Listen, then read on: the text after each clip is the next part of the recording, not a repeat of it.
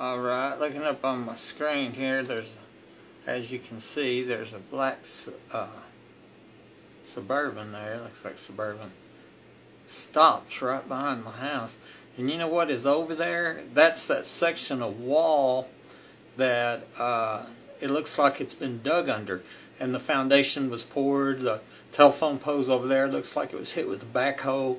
You know, kind of looks like maybe uh, maybe that's where the, a tunnel was put in there. You know, it's uh, not proven. It's in some other videos, but but anyways, you know, I look up. Of course, it could be other things, right? Because you know we got we got a active death threat at the house. We got a group of police that are still not identified that were caught uh, covering up the murder attempt on my life, and and I'm, I'm sure I'm sure they don't like me talking, you know.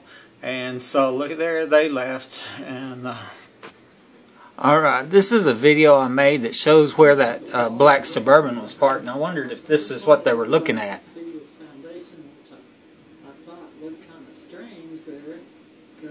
looks like to me the whole row of bricks is missing down there at the bottom, and you can see how the, the foundation is, is uh, it's like a, it's been four hundred dollar foundation, but maybe Michael hit that telephone pole when he's digging, and see, well, it's this, and I think we, especially when we, get over here to the other side,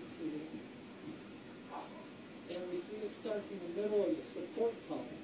Now that is what's really strange right there, is it, is that it's in the middle of a, a column, so I don't think it's any kind of stepping, I think it, my best guess is, is maybe it's dug under, possibly there's a tunnel out there in that section.